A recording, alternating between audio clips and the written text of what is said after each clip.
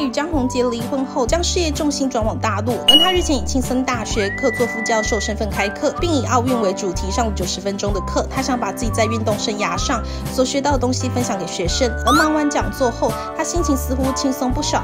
九日，他则罕见在网上狂喜版，又是直播又是发影片照片，让网友纷纷好奇问他：“爱讲是不是有点醉了？怎么一直在发？”对于被质疑喝醉，福原爱也亲自解释：“我一滴酒都没有喝。”而十日一早，他要继续发文分享他在妆法照片，而他穿上红色球衣的模样，整人看起来瘦了一圈。